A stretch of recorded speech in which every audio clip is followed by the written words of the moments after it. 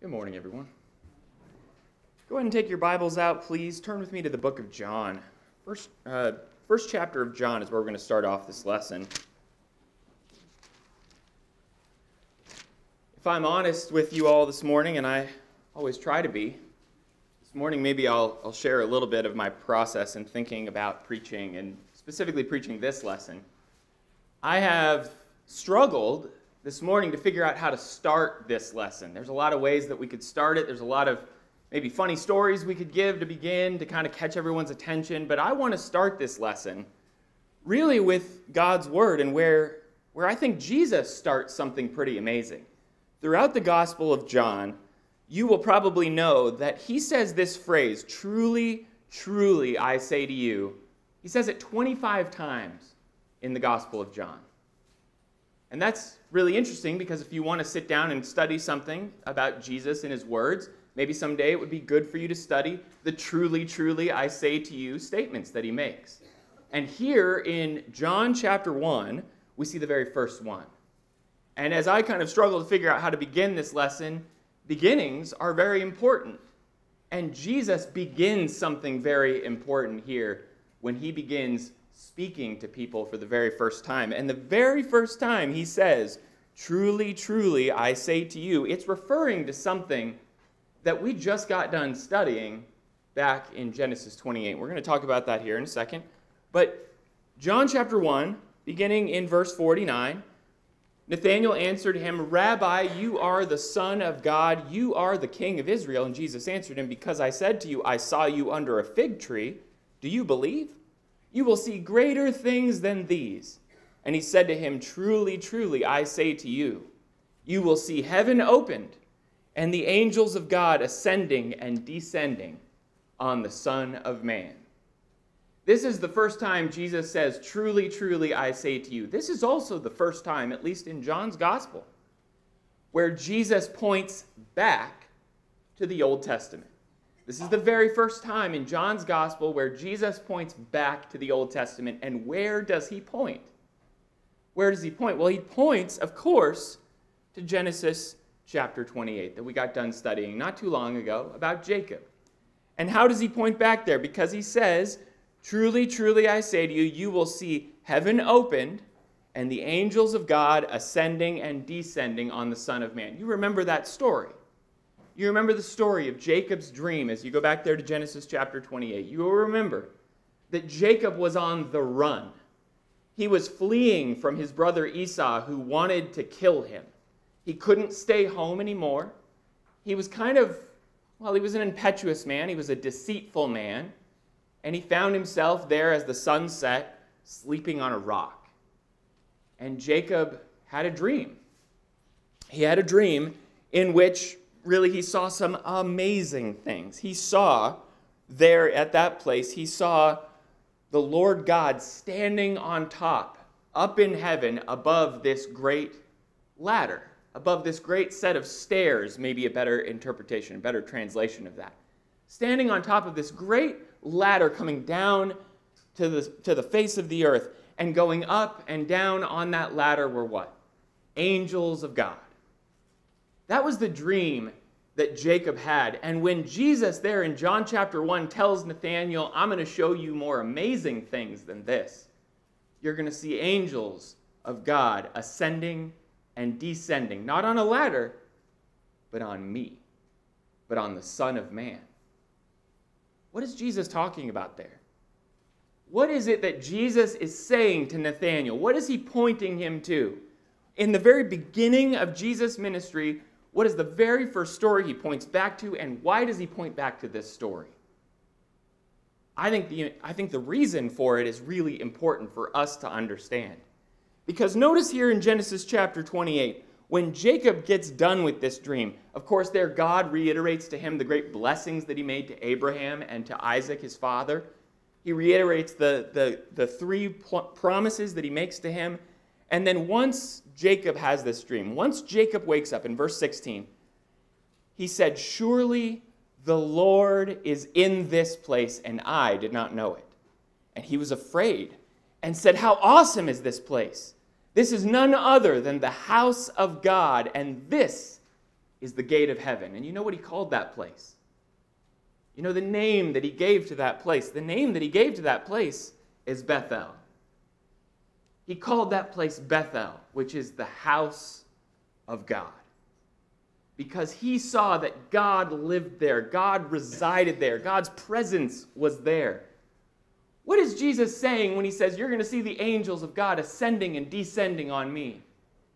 He's not saying necessarily that I'm going to do some amazing parlor trick or that I'm going to perform some amazing miracle, although he certainly would do those things. What Jesus is saying is, I am Bethel.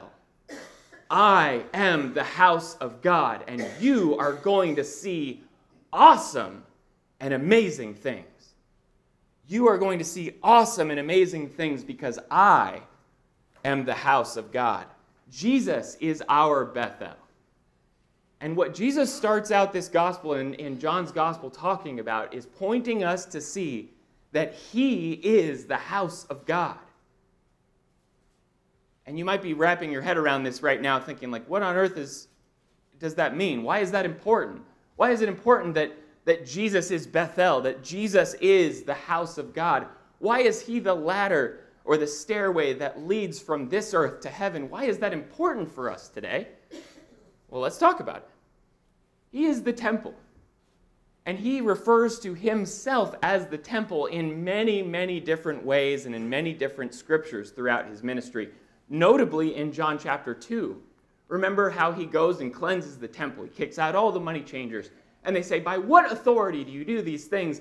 And Jesus says, You destroy this temple, and I will raise it again in how many days? Three days. I'm going to raise up this temple in three days. Now, what was the temple? The temple is the house of God. The temple is the dwelling place of God. In the Israelites' mind, they were thinking that this is where God dwells. And what was Jesus really talking about? Not the temple, the physical structure made by man. In fact, there in John chapter 2, John helps us to understand that Jesus was not talking about the structure of the temple, he was talking about his own body. But they're one and the same, don't you see? The temple of God, the house of God, the dwelling place of God is Jesus Christ. As much, even more so than it ever was the physical structure made by man in Jerusalem.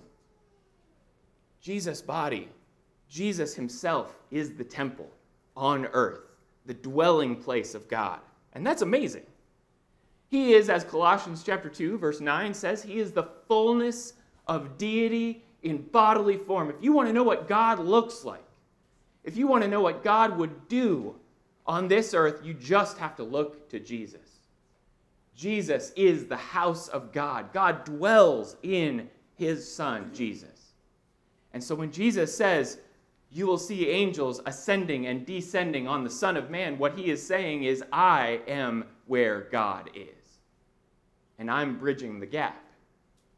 I'm making the connection between this earth and heaven. I'm God here on this earth. I am the house of God. But he also we also see here that in Jesus being the house of God, that that means he is the awesome one. Do you remember Solomon's encouragement to the people long ago in the book of Leviticus? One of I know everybody dogs on Leviticus. Nobody loves Leviticus, but Leviticus has a great explanation of how we reverence or how the children of Israel should reverence the temple. Don't come around the temple just talk in any kind of talk. Don't come around the temple just be in any kind of way. You revere the presence of God at the temple because that is a special place. We see here that in Genesis chapter 28, what, is, what does Jacob say about this place, about this Bethel that he calls it? What does he say? He says, This is an awesome place. Now, we in our, our society, we, I'm guilty of it. I'm a child of the 80s, right? Awesome was just in my vocabulary. Awesome. This is so awesome. You know, we, I say that all the time. But I, really, it's, it's meaningless until I see it against the awesome nature of where God dwells, the awesome nature of who Jesus is. And Jesus, as the house of God, he is a reverent place. He is an awesome person here on this earth. And in fact, so much so that as the two men from Emmaus were traveling with Jesus in Luke chapter 24, verse 32, what did they say to themselves after he disappeared? After he was revealed to them to be the Son of God and then disappeared, they said, Truly our hearts burned within us. Jesus is not a milk toast, mild mannered, boring, vanilla kind of person, kind of, of man, kind of God in the flesh. That is not Jesus. Jesus is awesome. And that means something to us. That means something to us. That means that He, He is our home sweet home. I want to say that as I was thinking about this lesson, this is the thought that kept coming into my head because this is, this is something that my family is sort of actively focused on right now. What, what makes the home? I, a lot of you know mom has moved in with us. We've been kind of, you know, eyeballing houses around and maybe thinking about like, like what, what do we need in a house? What, what kind of place would, would be good for all of us to live in together? What, what would be the, the best possible scenario for us to be in? And, and as we started touring houses, we've looked at a couple of houses. No, we're not moving, no rumor mills, we're not starting anything, but you know, we're just looking.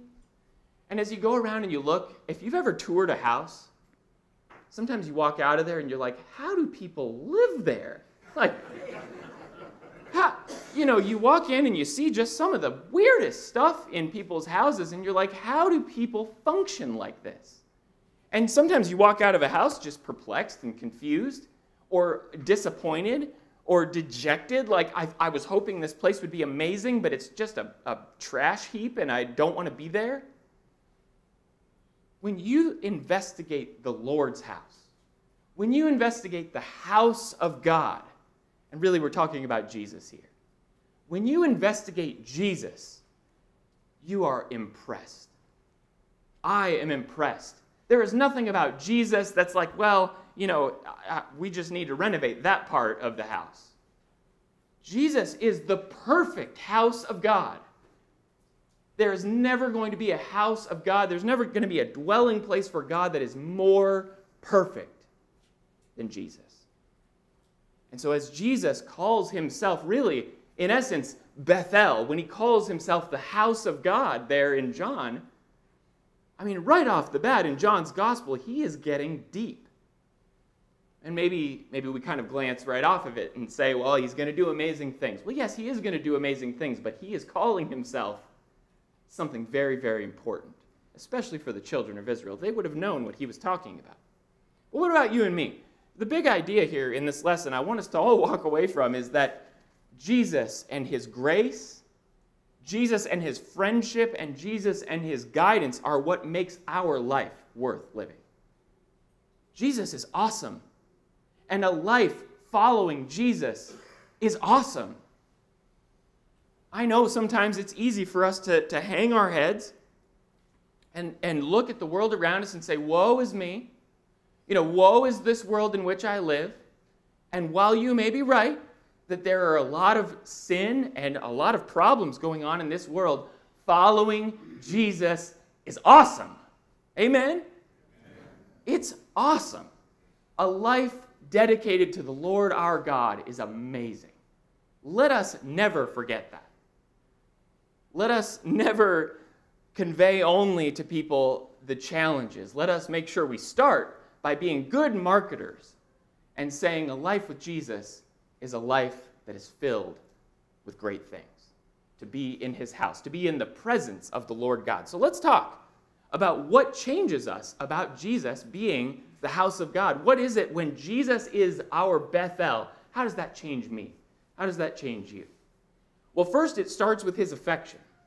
First, it starts with his grace. If you go back to the story there in, in Genesis chapter 28, when you think about Jacob, did Jacob do anything that was particularly amazing that God might have wanted to reward him for? You think about Jacob's story. Jacob was not a great man of faith at this point in his life. He was a liar, he was a deceiver, he was somebody who did not deserve the great blessings that God had given him. He did not do some amazing thing that would cause God to bend his ear to, to Jacob and his situation. No, but God loved him. God loved him even when he was his enemy. God loved Jacob even when Jacob was pretty unlovable. Before Jacob really had a, a, strong relationship with the Lord God. You see where we're going here, right? Because that is exactly what God has done toward us. Jesus came to this earth. The house of God, our Bethel, came to this earth graciously as a gift for us that we did not deserve. Jesus came here because God so loved the world that he gave his son, that anyone who believes in him can be saved. That's why God sent Jesus. Not because we were amazing people, not because we did some amazing thing, even not even us, but even the children of Israel back in Jesus' day. When Jesus did actually come in the fullness of time, the children of Israel were pretty bad off. The Pharisees were a bunch of hypocrites, as Jesus would talk about. There were only a few people who wanted to name the name of Jesus and follow him in his ministry. There were very few people who, were, who would have been considered to be good people at that time. But even, even the goodness of people, we go to Romans and we understand that we've all sinned. Every one of us needed Jesus. And so, Romans chapter 5, verse 6, Paul reiterates this point. For while we were still weak, at the right time, Christ died for the ungodly. For one will scarcely die for a righteous person, though perhaps for a good person one would dare even to die. But God shows his love for us, in that while we were sinners, Christ died for us. God loved us. He loved us so much that even while we were his enemies, even while we were unlovable, he sent Jesus to us. And God has a good track record of doing this, by the way. God has, a, has an amazing track record of grace toward his people because Jacob did not deserve to see this amazing sight in a dream. Jacob really did not deserve to have these amazing blessings given to him, and neither did we. None of us deserve that. But God loves us, and He extends His grace toward us.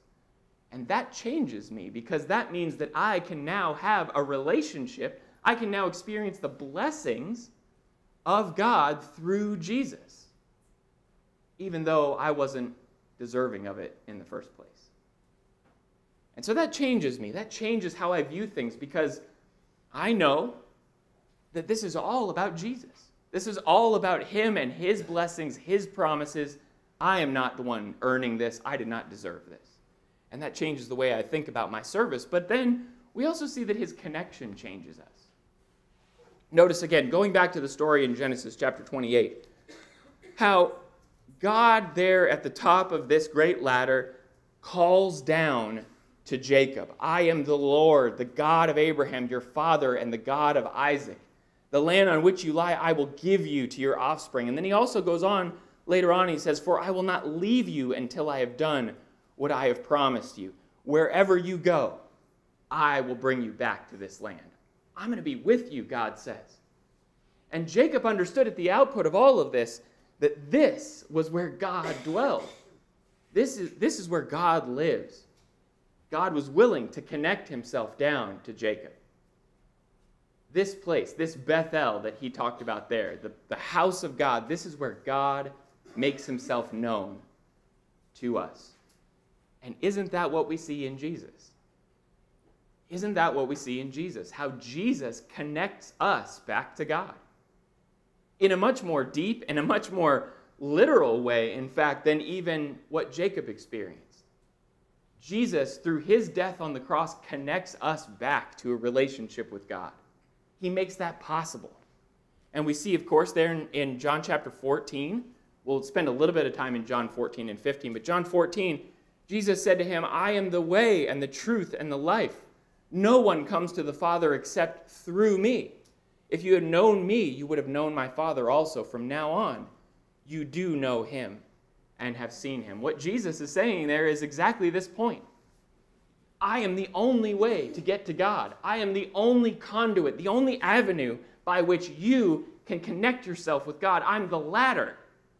I'm the stairway angels ascend and descend on me because I make the connection between you on this earth and God who is in heaven. There's only one way to get to the Father, and it's through me. And then the powerful statement if you knew me, you'd know God also. You'd know the Father also.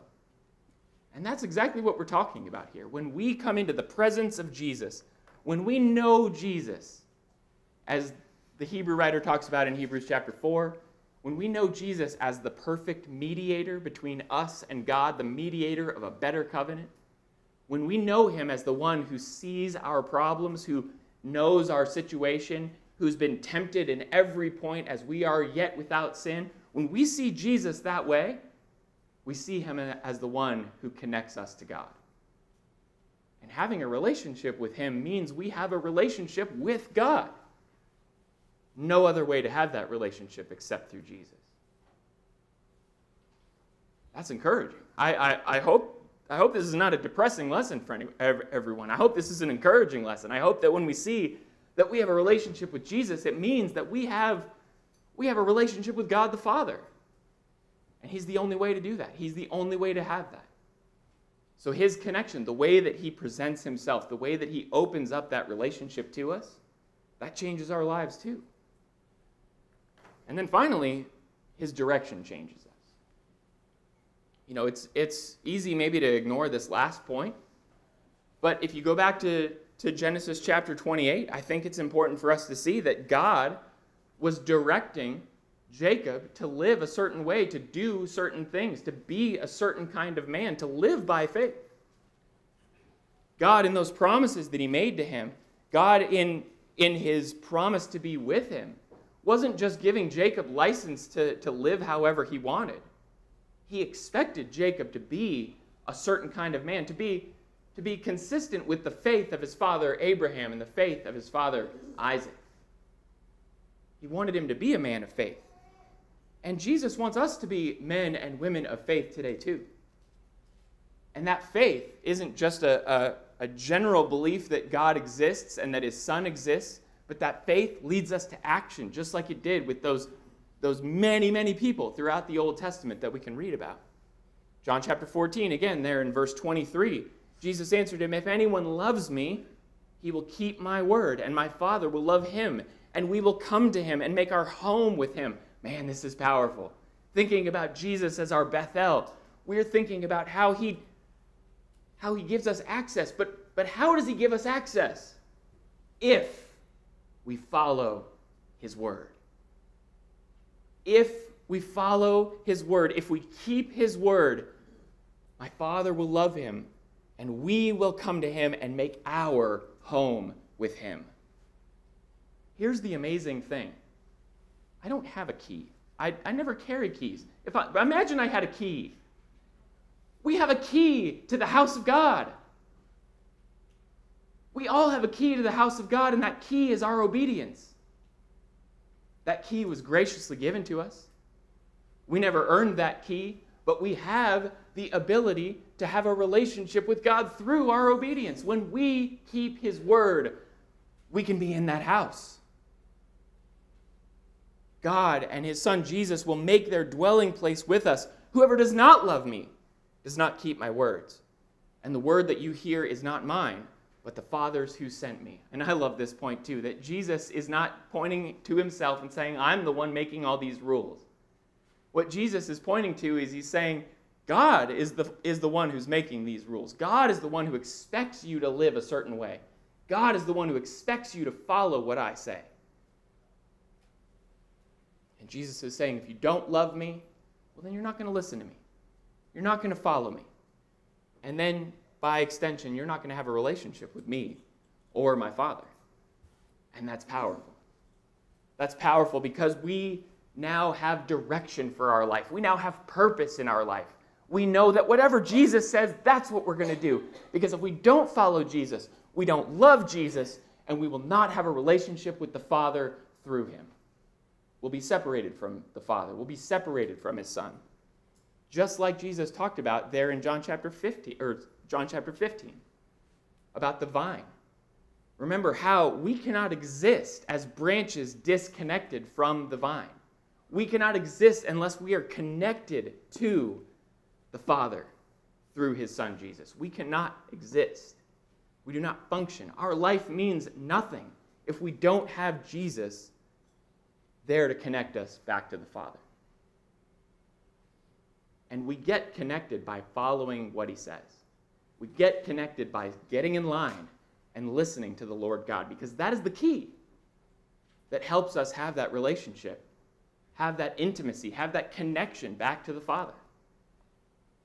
Now, you see what Jesus is talking about here. Right off the bat in John chapter 1, he's saying, Look, you know, I told you, Nathanael, that you were going to see amazing things. I, I, I said, Hey, I saw you sitting there under the fig tree. And that was enough for you to believe. And I, and I think Jesus was impressed by his, by his belief there. But Jesus goes a step further and he says, You're going to see deeper things. You're going to see more important things. You're going to have more of a reason to believe in me. Not only because you're going to see amazing things, but you're going to come to some amazing understandings of truth. Some awesome realizations of truth that I am the house of God here on this earth. And you can have a relationship with God through me. Isn't that impressive? Isn't that amazing that we can have a relationship with God through his Son? I know we think about Jesus, we think about his sacrifice, we think about all the things that are related to and connected to his gospel, but if you just kind of strip it all away and you see that Jesus is the house of God on this earth, that's incredible. And oh, by the way, when you have a relationship with God, when you have a relationship with His Son, you dwell in that house too. You dwell in the house of God too. You are temples of the Lord God here on earth. There's a whole other lesson in that. Not only is Jesus our temple, He is the house of God, but by extension, He allows us to be filled with His Spirit. He allows us to follow Him and live like Him and be treated just like an adopted son as He is in the Father's house. It's amazing stuff. Being a Christian is awesome. If you get nothing else out of this lesson, I want you to walk out and think about for the rest of the week that being a Christian is awesome. And if you're not a Christian, then you don't have that kind of deep, meaningful, connected life. You don't have that kind of peace that surpasses all understanding. You, you're wandering aimlessly, like Jacob would have been had God not come to him. You are wandering aimlessly without taking advantage of that grace that God extends in Jesus Christ. And if you're ready to give your life to the Lord by repenting of your sins, confessing his great name before men, and being baptized, we'd love to help you with that. Please come as we stand and sing.